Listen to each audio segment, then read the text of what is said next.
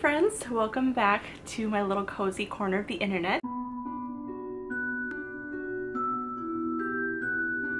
So yes, I look very different. I did a blowout in my hair um, yesterday and I feel like a different person. But I'm also wearing makeup again, which is exciting. My skin is like 99% healed. I have the slightest bit of discoloration because it did come back again, but I think we're like almost out of the woods. anyway, if you haven't been here, hello, my name is Harmony and I do a little bit of everything. Mostly reading on this channel, but I also love like hiking and sewing and crocheting and all of the things. I have two dogs that like to cry every time I turn this camera on, so you're gonna hear that. but yes, I just wanted to start another reading vlog and catch you guys up on some of my recent reads and current reads. So I did finish Long Live the Pumpkin Queen. I actually finished it pretty fast. I um, for me, I finished it in like three or four days, which for me is pretty fast. I loved it so much. Shea Ernshaw's writing is fantastic. I had like one complaint, but I'm not even gonna mention it because it doesn't matter. I love it. I love it, I love it, I love it. I'll reread this probably next fall because I just think it was so darling. This is just so sweet and it does change your perspective on the movie so so next time we watch the movie, I'm gonna have a totally different perspective on like Sally and her story and everything, which I'm sure was the point. So she goes to Dreamtown and the whole reason and background of Dreamtown is like that's what changes everything. It changes your perspective on her story, on her life, on her just I don't I can't even say it. It's very good and I loved the ending. It was so wholesome. Can you not? yeah, the ending was so wholesome and just so beautiful and the character development that Sally has is just so sweet and it just makes my heart smile. Oh, this, oh, this quote was so cute. Maybe, maybe I can be both to a rag doll and a pumpkin queen. So yeah, I don't know. I'd probably give this like four and a half out of five stars. I just think it was so cute. Shea Ernshaw's writing was just on point. Like the things that Jack would say and Sally would say, it was just like, that's totally something that they would say. And like, you know how Jack would be very like fantastic or wonderful and like she totally she just captures it so well and that's how he talks in the book and it was just so sweet and I really loved it so yeah that's my update on Long Live the Pumpkin Queen. I thought it was great and just wholesome and sweet and beautiful. So yeah, I definitely recommend picking this up if you love Nightmare Before Christmas, for sure. So now I'm actually reading two books. So in my, in my bunny vlog, I had said that Daisy Darker was one of the other books that I wanted to read in October. I was hoping to finish it by the end of October, but I ended up also picking up this book at the same time. So I'm still working on it. I am halfway through, I think. I'm on chapter 24, page 172. And I have I have quite a few tabs in this one. This one is so good. I'm thinking it's probably going to be 4 out of 5 at the moment. I just, Alice Feeney, man. I've, I've read one of her other books and that was Rock, Paper, Scissors and I really liked it. It was my first thriller and I thought it was fantastic because I just remember the twist in that story being super good. But I forgot how amazing her writing is. Like her, she's just, I don't even know how to say it. Like she just has a lot of wisdom and there are just so many good one-liners and the story seems great. Like she's tying together a lot of things in this story. I'm really impressed actually. So yeah, I hopefully plan on finishing this book in this vlog. I just, this is just so good. I shared a quote on Instagram the other day. Oh, this one part was also really good. She asked Nana, like, what do you believe in? And Nana smiled and said, I believe in kindness and hard work. And Daisy asks, what about God? And she smiled again and said, I believe that God believes in hard work too. I thought that was really good. You can't pray for an A and then study for a C. You know, like you you still have to do your part of things. You still have to grow and be kind and be good. I don't know, that's a whole other subject I could get really far into, but I won't because I don't want this video to be 100 million minutes long like they usually are. Oh, this one was good too. Fear is something we have to feel to learn and learn to feel. Nana says, everyone deserves a second chance. Even bad people, I asked. Everyone you know is both good and bad. It's part of being human. as the Bible says, we're all sinners and we fall short of the glory of God. And like, I just love the way that she put that. Like, everybody deserves a second chance because we're all bad. We're all good and bad, I should say. There's no such thing as a good person. We can still do good in the world, you know? So, again, that's another deep conversation that I probably just confused people with, but it's what I do, I guess. so yeah, I want to read and finish this book either today or tomorrow, which is asking a lot of me because I'm only that far and I've been reading this for like a week and a half. So I might not finish this today or tomorrow. It might be a while, but you know what? I'm gonna try. I am going to finish eating my breakfast, which my sandwich is probably cold by now, but that's fine. Continue drinking my latte in my cutie little mushroom mug. And then I think I'm just gonna sit right here in my cozy little spot and read some more of Daisy Darker and I'll update you guys along the way. Also, if I finish Daisy Darker, I'm gonna pick up one more kind of like autumnal book. I think I might read Mexican Gothic. I have not read that yet and it's been sitting there for a hot minute. Otherwise, you can't really see, but I did get uh, my most recent book of the month order and I got White Horse by Erika Wurth, which is about like a Native American girl, which I'm excited to read about because I've never read like an indigenous story before and I myself am indigenous. So I'm really excited to read that one. It sounds kind of like spooky supernatural, so maybe I'll pick that one up instead of Mexican Gothic. But then I also got The Maid and No Exit. So I'm excited to read all those. I'm gonna eat and read some more and I will catch up with you guys in a few minutes.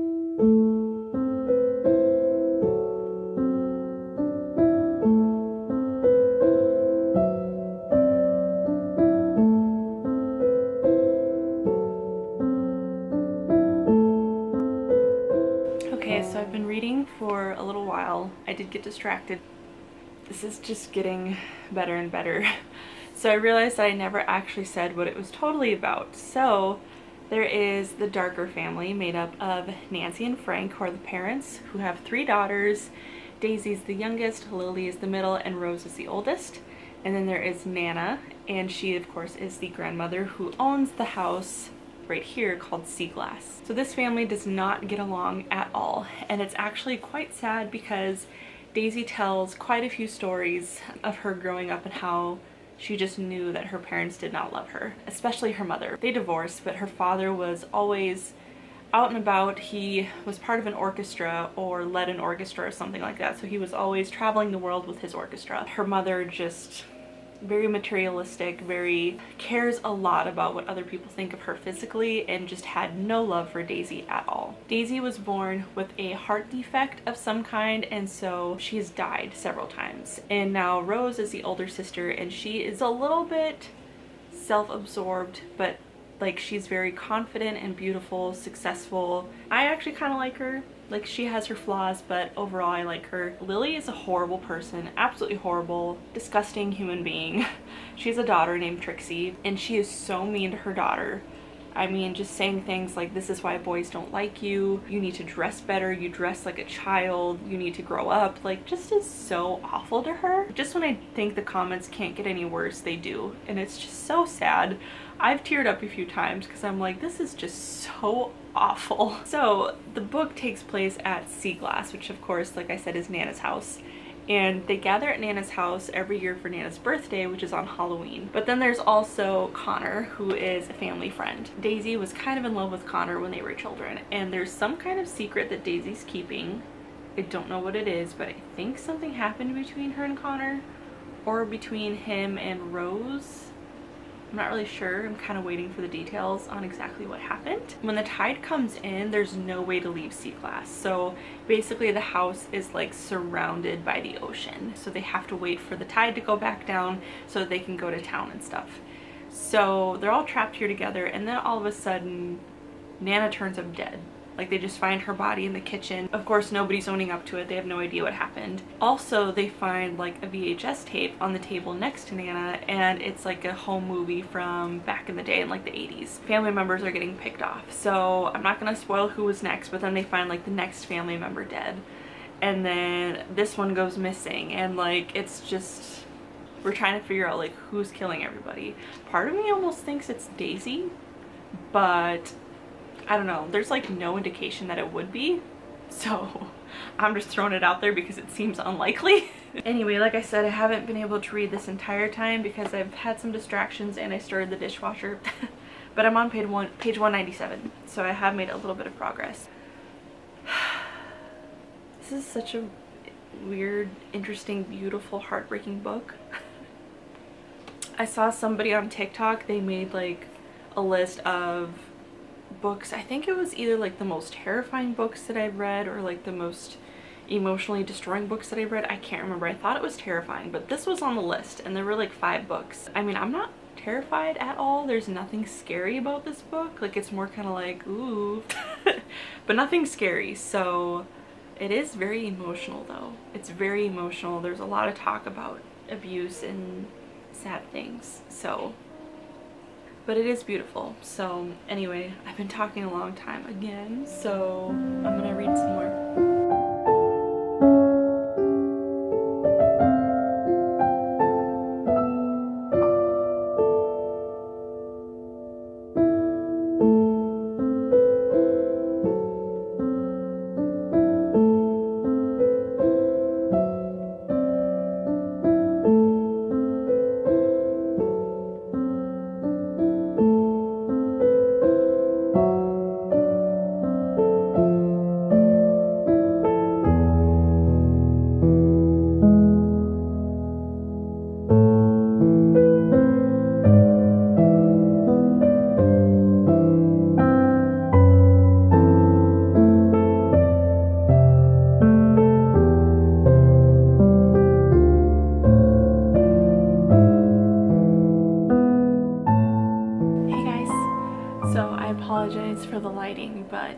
It is 3.43 and it's already starting to get kind of dark. I did get a little bit distracted again. I found myself scrolling for a hot minute on Instagram, but I made it to page 238 and I think things are gonna make a turn. really interesting and again really sad. Just like more stories that Daisy is telling about her childhood is just really sad. Still a lot of good one-liners. This one was really interesting talking about like love and hate and how like I said that their parents had gotten divorced but when the dad got in an accident the mother still went to go see him. One of um, the kids was like why would you do that? Like you're divorced, you're not supposed to care and Rose was like, I don't think it works like that. When you love someone, you can't just turn it off. There isn't a switch. Even if you hate someone that you once loved, there is still a little bit of love there. Love is like the soil that hate needs in order to grow. I think it's rare in relationships to have one without the other. That was really interesting. I just, I don't know. This is another one of those things that I just kind of have to think about before I speak on it which I need to do more often. but yeah, I think I'm gonna take a little bit of a reading break. I've got about 100 pages left. I might see you guys tonight, I might see you guys tomorrow. But either way, I'll talk to you in a little bit. Hello, good afternoon. It is 12.45 the next day. I am looking a little rough. So last night when I took my makeup off, I'm apparently not used to wearing makeup and I was like taking it off and apparently got too vigorous removing my eyeliner and mascara because after I finished removing it, my eyelids hurt so bad. Like, oh, you can still see it's pretty red all right here. So my eyes hurt so bad all night and then I woke up this morning and my eyes were so swollen so yeah, if anybody has like eye makeup remover recommendations, please let me know. My eyes hurt so bad this morning and last night, but it's fine now. The swelling has gone down and we're okay. But so much for looking nice today. I did not read it all last night. After said peace out to you guys, I cleaned and stuff and then Zephyrin, my brother, came over and our buddy Joseph, who lives in our cottage on our property. They both came over and we all just hung out. We watched a few movies. We watched Hairspray, Wild Hogs, and Princess Diaries. and I made a dinner that was really bad. I started reading about an hour ago. I am on page 293 and there was a good reveal. The only thing I'm not liking about this book so far is that like spoilers happen like two pages before the actual event. She kind of talks about it or like the story enough that it like gives it away and then when it's revealed it's not like oh, It's more just like, okay, well, yeah, you kind of just told us that in a weird way. If you've read this book, I think you might know what I'm talking about specifically what is revealed at this point in the story. I'm just gonna keep reading. I'm probably gonna put some more lotion on my eyes. This one especially like still hurts. I cannot believe that happened to me. I was like, of course, the one time I wear makeup, I injure myself taking it off. Anyway, I'm gonna read for a little bit longer. I plan on finishing this book in the next hour. I don't think it'll take me an hour to read 30 pages, but I am kind of slow. So I'll see you guys in a minute.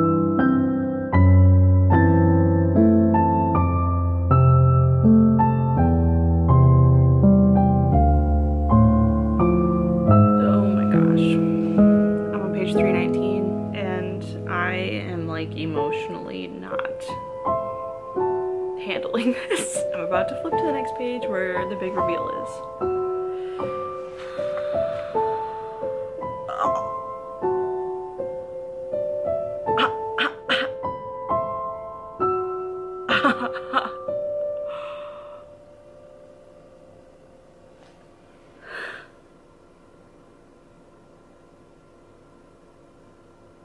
Oh my gosh.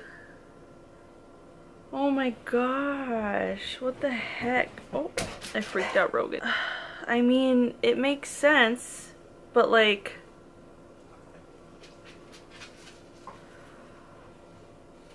There are three big reveals in this book. The first one made sense. The second one, I was kind of like, wait, well, what about when this happened? Like at the beginning, because that doesn't make sense. But now this final reveal, I'm like, that makes sense. I'm gonna be thinking about this for a long time, like this book. And listen to this music that I'm listening to.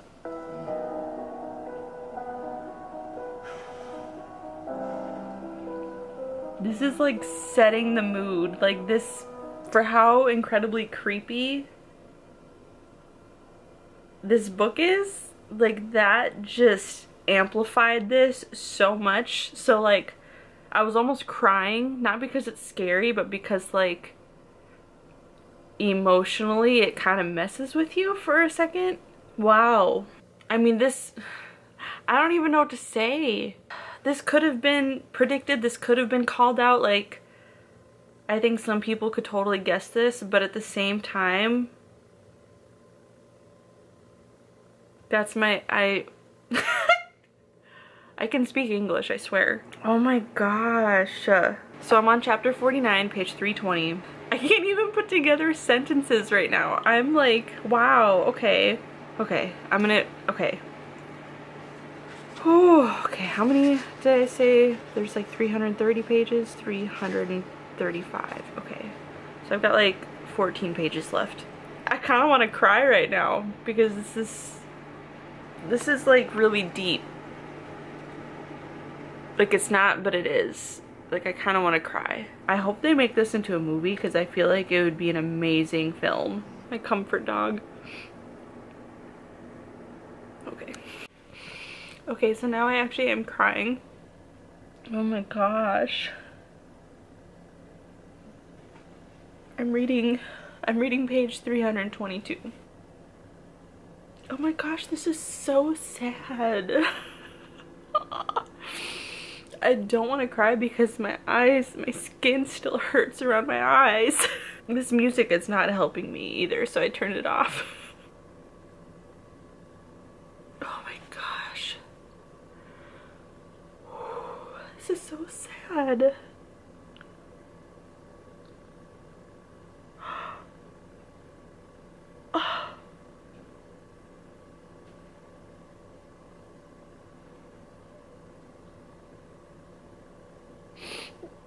I'm not okay.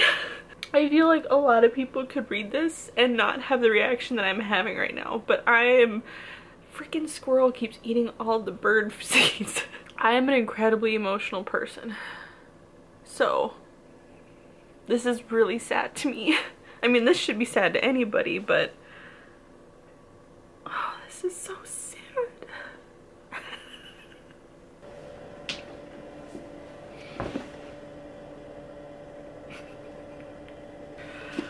Alright folks, I just finished uh, I don't I don't know what to say. I was not expecting this book to like emotionally damage me like this. I just want to cry.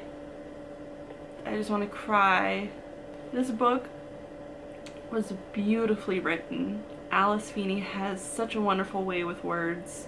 Her writing style is magnificent and she has so much great wisdom, so many fantastic one-liners. I mean, she's fantastic. The story was, the concept wasn't original, but the twist was. The twist was very original and it breaks my heart. it was beautiful but sad and if you've read this book I'd love to talk about it because like I said I don't want to give spoilers. when you get the twist you want to go back and read stuff because then it'll all you'll see things from a very different perspective that will make sense. I want to read this again so that I have the twist in my mind when I read it. And it was the same with Rock, Paper, Scissors, her other book. It was the same thing. After I finished it, I was like, now I have to reread it knowing the twist because it's going to give me a totally different perspective on everything. Like, so now I'm like, now I want to reread it with that with this perspective but at the same time I don't want to reread it because it hurt my feelings backstage pass is a myth when it comes to human relationships. We can never really know another person because we rarely know ourselves. So yeah, I would say this is a five-star read. Honestly, five out of five for me. Like I said, the reading was great, the story was fantastic, it emotionally destroyed me. So now I just want to find a happier book to read. Okay, so I'm gonna go with The Maid. It was a lot of people's favorite book last year and this year. So yeah, I think I'm gonna start The Maid. I'm hoping it doesn't hurt my feelings, but I feel like nothing can hurt me right now after what I just read. So, so I'll start this, I'll talk about how I'm feeling about it, and then I'll close the vlog out because I feel like I'm not going to be able to stop thinking about that book for a while. I'm glad that when my husband gets home I'll be able to like tell him all about it because he's not going to read he's not gonna read it I'm sure so I can just let out all my feels. when I was in here reading and him, Joseph and Zephyr were all in here and they were like so what's that book about? I'm like oh it's like this this and this and so they were like so it's basically like Clue. Wow how original. So now I get to like tell them all the details and they're gonna be like oh wow. I'm like yeah maybe you should pick up a book every once in a while. I was not expecting that twisty ending like that. Like I knew there was gonna be a twist but like Wow. so anyway, okay, yeah, I'm gonna sit down and start this, start this baby and hopefully it's good. Okay, let's go read some more.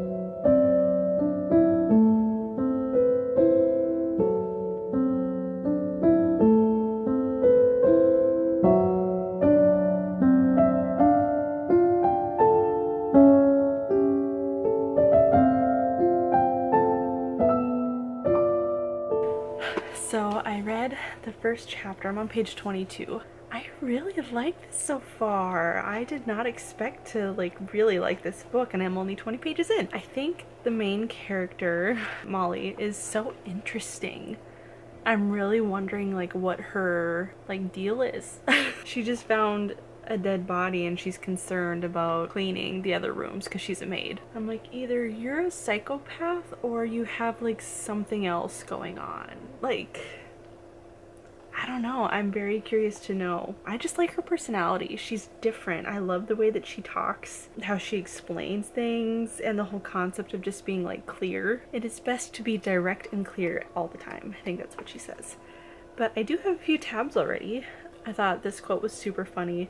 As Gran used to say, when you assume, you make an ASS out of you and me. It made me think of the Gilmore Girls episode when Lorelai's talking to Emily and she was like, well, you know what they say when you assume things? And Emily's like, what? And she goes, that you shouldn't. I'm also relating a lot to her as far as like being socially awkward and like different. Also because I'm kind of a clean freak. I love organization and cleaning things. Like I actually enjoy cleaning. Like my dream job is to be a homemaker and to just clean and cook and organize and do all of like the housewife things. Like I would love to do that. That's actually our goal at some point. And I loved how she explained it. And she said, It's as though everyone is playing an elaborate game with complex rules they know, but I'm always playing for the first time. I make etiquette mistakes with alarming regularity, offend when I mean to compliment, misread body language, say the wrong thing at the wrong time. And I just find that very relatable. I feel like that all the time. I usually leave social situ social situations thinking like, wow, that was not my best work. I feel like I'm constantly doing the wrong thing or feeling like I'm the one person out of place and it's just I love the way she said it. Finally somebody put to words what I feel like a lot of the time. So I just I really like that. I don't know if I'm the only person. I doubt I'm the only person. I'm sure most people do this. So anytime I read a book, I always try to imagine like an actor that I know playing certain characters. As I am reading this one, the character that comes to mind, or the actor that comes to mind, her name is Lindsay Broad. I don't know if she's been in like a lot of popular stuff, but one of my favorite shows, especially growing up, was Ghost Whisperer, and she plays a character in Ghost Whisperer where she has like the short black bob, like Molly does in The Maid. Uh, this is what she looks like. But this is like who I'm imagining playing Molly in my head. Oh, this is kind of a weird picture, but kind of like that. Like that's who I imagine playing Molly because she's pale skin, dark eyes, and then the short black hair. I am going to spend the rest of the night, well, until Steven gets home, I'm going to be reading more. Actually, I'm probably going to start editing this vlog and then read some more of The Maid and then hang out with my husband when he gets home. I'm so excited to see him. Thanks for being here and watching my vlogs and hanging out with me and being my friend. Until then, feel free to follow me on Instagram and check out my links below for a bunch of other fun stuff. And I'll see you in my next video. Bye!